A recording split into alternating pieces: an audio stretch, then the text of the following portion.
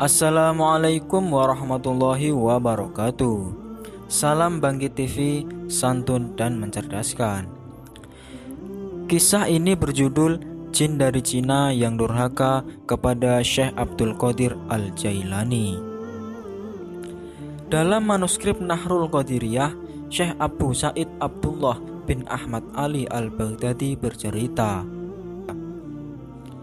pada tahun 537 Hijriah, putriku yang bernama Fatimah naik ke atas loteng Roma. Tak lama kemudian, ia menghilang secara misterius.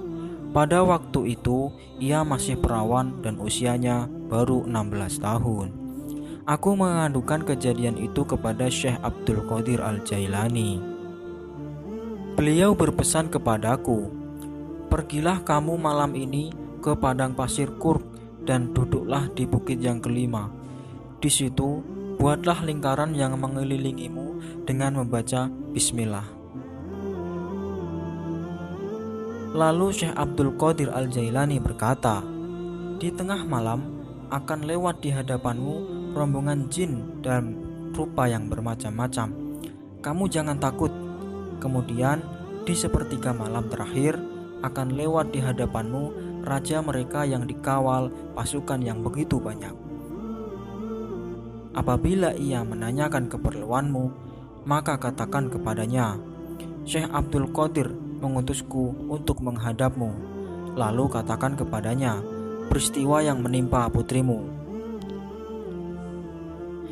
Sebelum saya lanjutkan kisah ini, jangan lupa like, komen, share, dan subscribe sebanyak-banyaknya. Lalu aku pergi melaksanakan perintah Syekh Abdul Qadir. Pada waktu tengah malam, melintas di hadapanku rombongan jin dalam beragam bentuk yang menakutkan. Mereka tak bisa mendekatiku atau melewati lingkaran yang telah kubuat. Lalu, di sepertiga malam terakhir, datanglah raja mereka dengan menaiki kuda perang dan dikawal pembesar-pembesar mereka. Si Raja Jin itu berhenti di salah satu sudut lingkaran yang kubuat. Wahai manusia, apa keperluanmu? Tanyanya kepadaku. Aku diutus Syekh Abdul Qadir. Begitu mendengar nama Syekh Abdul Qadir, Raja Jin itu langsung turun dari kudanya dan mencium tanah. Ia duduk di luar lingkaran bersama para pengawalnya. Raja Jin bertanya lagi kepadaku, "Ada apa denganmu?"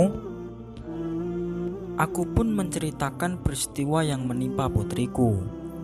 Mendengar cerita itu, Raja Jin berseru kepada para pengawalnya, "Siapa yang berbuat itu? Menculik putri Syekh Abu Said?" Tidak ada yang menjawab. Tak lama kemudian, datang salah satu jin dengan membawa putriku. Kedatangannya itu diiringi dengan teriakan yang gaduh dari para jin. Itu adalah jin dari negeri Cina.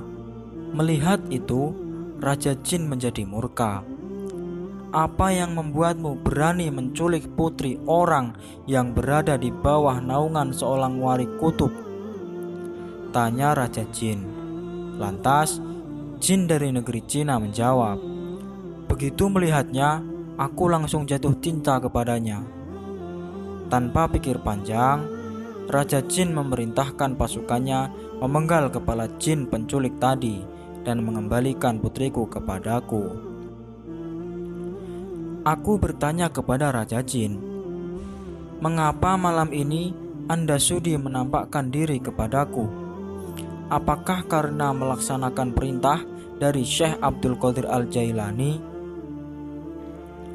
Saat ini, beliau tengah mengawasi jin-jin yang berbuat durhaka di antara kami dari rumah beliau. Mereka berlarian menuju tempat tinggal mereka masing-masing lantaran takut kepada beliau. Sesungguhnya, wali kutub itu diangkat Allah Subhanahu wa taala untuk membimbing manusia dan jin sekaligus. Jawabnya, Itulah samudra hikmah dari sosok Syekh Abdul Qadir Al-Jailani. Semoga kita semua mendapatkan berkahnya. Amin ya Rabbal 'Alamin. Mari kita bacakan surah Al-Fatihah untuk beliau, Syekh Abdul Qadir Al-Jailani. Al-Fatihah.